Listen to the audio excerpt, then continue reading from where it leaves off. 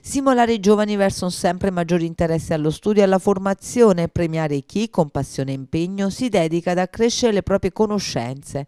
L'amministrazione comunale di Polla, insieme alla Fondazione Montepruno e la Banca Montepruno, da sempre vicini ai giovani, sostenendoli nei loro percorsi di crescita personale, sia dal punto di vista culturale che artistico, senza tralasciare l'aspetto educativo, nella giornata di ieri hanno premiato 11 ragazzi frequentanti le scuole secondarie di primo e secondo grado grado di Polla che durante il percorso di studio si sono particolarmente distinti per l'impegno profuso.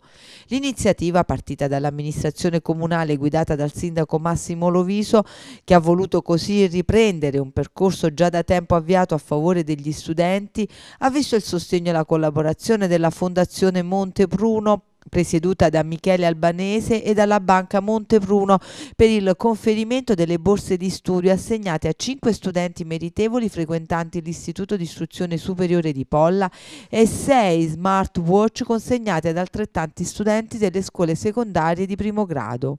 11 studenti e studentesse premiate per gli ottimi risultati conseguiti durante il percorso di studio che presso l'Auditorium Rocco Giuliano a Polla hanno ricevuto i riconoscimenti in una cerimonia a cui cui hanno preso parte, oltre alla dirigente scolastica dell'Istituto Omnicomprensivo di Polla, Sabrina Rega, anche del sindaco Massimo Loviso, dell'assessore all'istruzione Federica Mignoli e del direttore generale della Banca Montepruno Michele Albanese, che ha voluto sottolineare come le borse di studio e gli attestati consegnati ai ragazzi rappresentano solo un piccolo gesto dimostrativo che racchiude però un grande segno di valore al merito.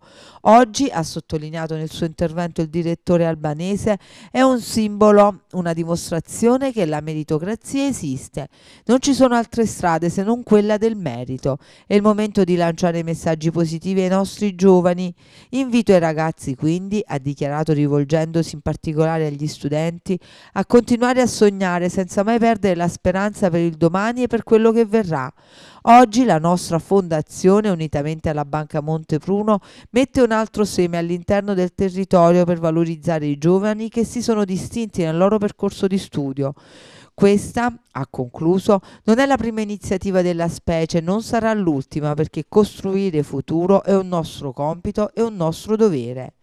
L'evento, denominato Valore al Merito, si è caratterizzato proprio con la premiazione dei ragazzi. A risultare beneficiari delle borse di studio per i loro meriti scolastici nel corso della cerimonia moderata dal giornalista Rocco Colombo, gli studenti della scuola secondaria di secondo grado Gerardo Villari, Antonio Dascoli, Antonio Vincenzo, Graziano Pio Cancro, Daniele Liguori. Ad essere premiati per la scuola secondaria di primo grado gli alunni Andrea Del Pezzo, Flavio Carrino, Marco Vincenzo, Toni D'Amato, Alessandra Di Girolamo, Francesca Donnici.